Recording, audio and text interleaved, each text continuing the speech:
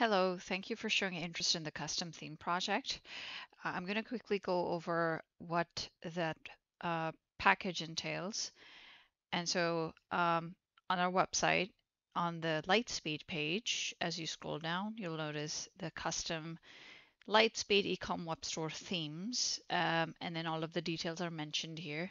But essentially what it is, is we do fully custom themes uh, which involves changing all of the uh, ecom design to any particular design that you choose. Uh, we've done quite a few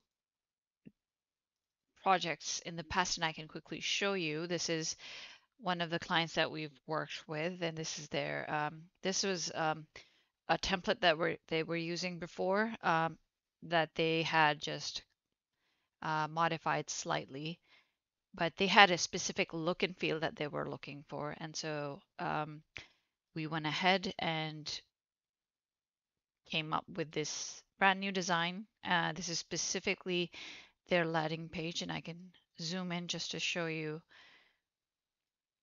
um, the customized look and feel of the landing page. So this is the landing page that you, you saw just um, a while ago. And I can also show you the listing page, which is all of their uh, a specific category with all of their products listed. Um, they also have the thumbnail swatch app, which you can see in action here. And then as we go into one of their products, this is what their customized product page looks like. So this is like a full custom theme from page to page. You know that everything's been modified to a certain design and look and feel.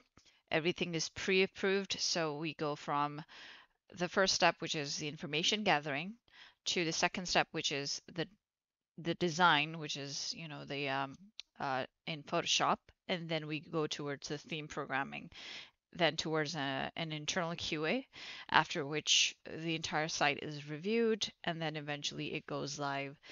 So those are the stages of our custom theme uh, projects. Uh, all of the other details are listed here for you to review. Uh, don't forget to check out the examples. We have a whole bunch of examples um, on our website for you to see.